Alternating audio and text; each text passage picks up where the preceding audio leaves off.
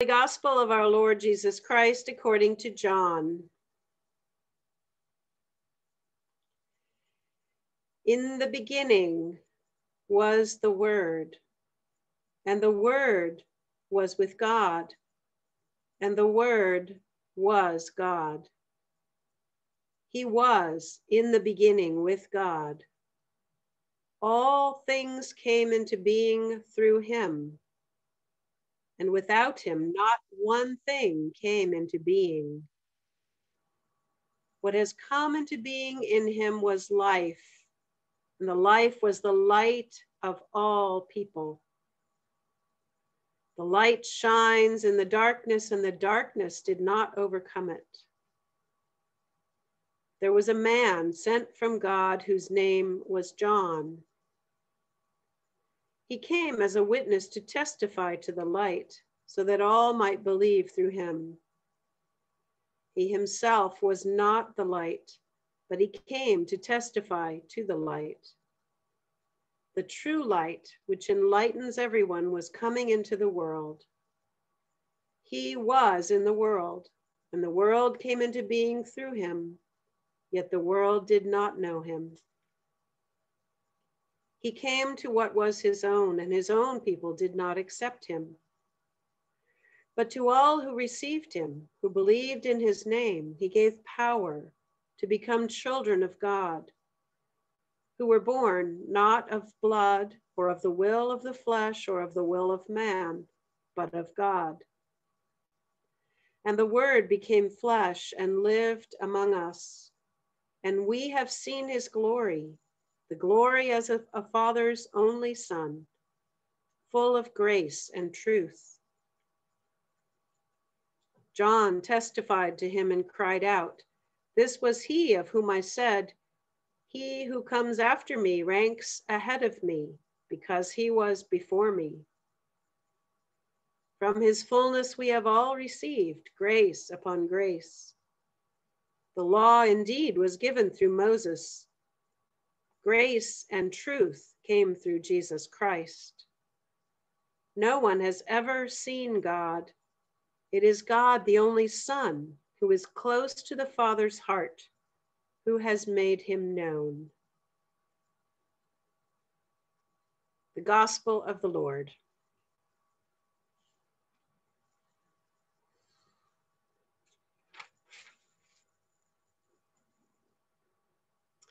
The name of God, Father, Son, and Holy Spirit. Amen.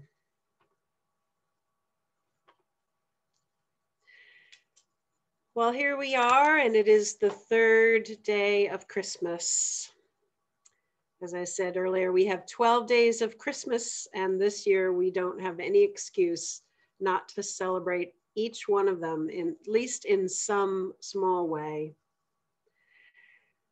I think we all are just very eager to say good riddance to 2020. But we still have a few days left of this year, and we can use them to celebrate the incarnation, to ponder the mystery of the incarnation while we're waiting for the year to turn and for a more hope filled 2021.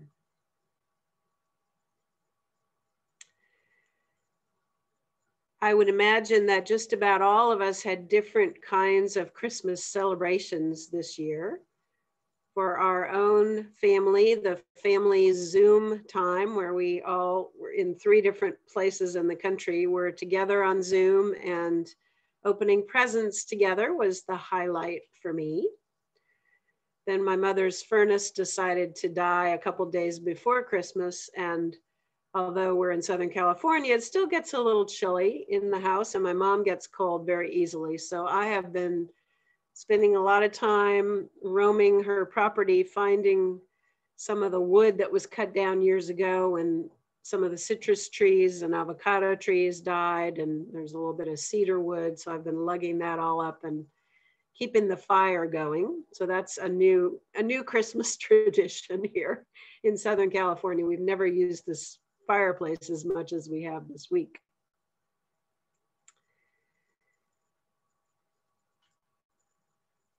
and some of that we may have started, you may have started some new ritual that you want to continue past past the time when we into the time when we are able to gather as we as we love to in person. There may be something that you started this year that's meaningful that you will want to continue.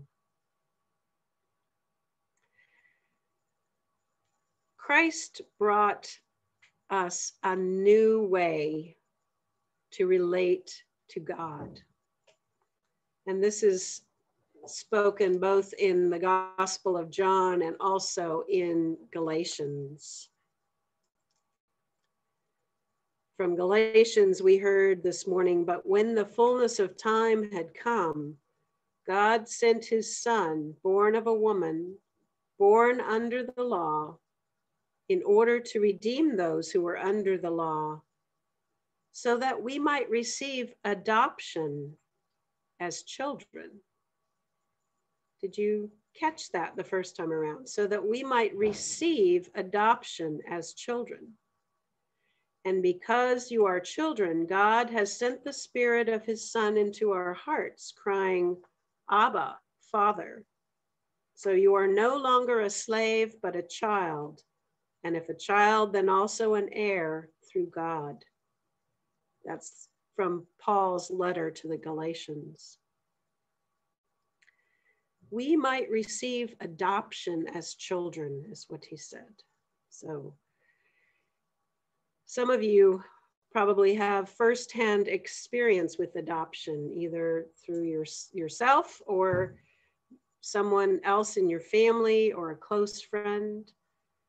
My first close friends to adopt a child were back when I was living in Atlanta, my friends Lindsay and Rob, who desperately wanted a child and they i sort of went with them on this two year roller coaster where they kept hearing that some child was available and then something happened and they didn't get the child and that happened over and over. Can be really difficult for people who are wanting to adopt a child because there's so much uncertainty so much unknown until hopefully something happens and I remember when Lindsay got the call that there was a baby for her, they didn't have anything, their house wasn't ready. Um, but her heart was ready. Their heart were their hearts were ready.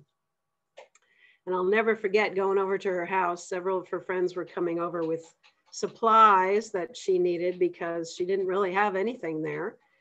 And um, Franklin was, I think, maybe two, our son, two or three, something like that. And I brought him over with one of his favorite little toys that he didn't need anymore. And I gave, we gave that to, to Lindsay and her little baby. And I'll never forget just looking at her face. Um, she was completely overwhelmed and she was completely full of joy holding that little baby. And then another friend of mine, um, Anne, who is a priest and who is single, went to Ethiopia to adopt a little girl. And then eventually she went back to adopt a little boy as well. And when she came home with her first child, Azalech, I, this was when I was living in Maine and she was a colleague of mine and friend of mine in Maine. And our whole family went over to visit the day after she arrived home with Azalech. And again, the joy was just, just so present. And, you know, of course, she was exhausted from the trip. That's a huge thing to go to Ethiopia. I think she had gotten sick over there, and, you know, her brother had gone with her, so she wasn't by herself. But it, I just have some sense of what it takes um, in order to adopt a child. There are so many unknowns. Usually, sometimes you don't know the family medical history. If you have adopted a child from an orphanage, often their early life was difficult and they may have traumas that they have to, that will affect them for their whole life and they may be able to work through. Adoption is risky and yet God chose to give us all the gift of adoption. None of us are orphans. All of us are God's children. But that was not without risk either. God takes the risk to adopt us all as children with no guarantee how we will turn out or how many times we will turn away from God or or if we will spend our whole life turning away from God. There's no guarantee for God. Yet God chooses to give us the gift of adoption as God's children. All of us.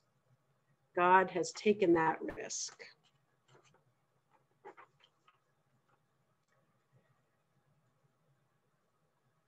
I found this short poem written by an adoptive parent